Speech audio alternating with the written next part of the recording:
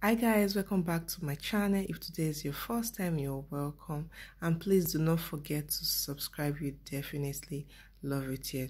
So on today's recipe i'll show you i'm showing you how to make banga soup using banga puree. Okay that's the extract already extracted a banga nuts very easy to make. So what you're going to do in a in a pot add your already defrosted banga puree or banga paste okay? Banga puree and banga paste is uh, already extracted banga juice that is being stored in the freezer to make cooking easy. So you don't have to go through the long process of pounding and extracting and all of that. They've taken the stress out of you okay but our advice you get from a trusted vendor a trusted shop that they didn't miss other things with okay? So after that you just have to just combine gradually.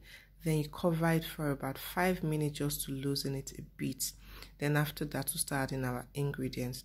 So I added some chopped onion. Then I added some pepper. You can use any pepper of your choice. It is fine. Then I added some salt and uh, some seasoning cubes. Then some grounded crayfish then after that, I added the star of the dish, which is the banga spice.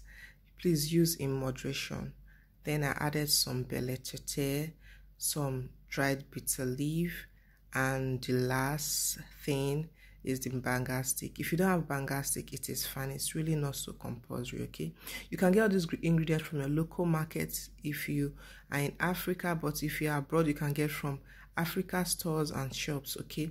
Then after that, you can add you add your protein. So I use dried fish and already cooked goat meat for mine. You can use any protein of your choice, a fresh fish, anything you have, it is fine. Then you I added a bit of the stock. I combine all together and I'm going to cook it till it is ready, okay? When it's ready, you see that the oil has flowed to the top and the soup is thickened, okay? Banga soup has to be thick for you to enjoy it.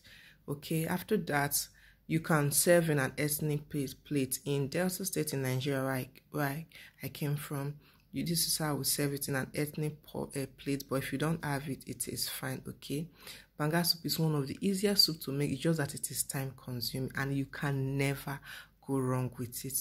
Thank you so much for watching and please do not forget to subscribe.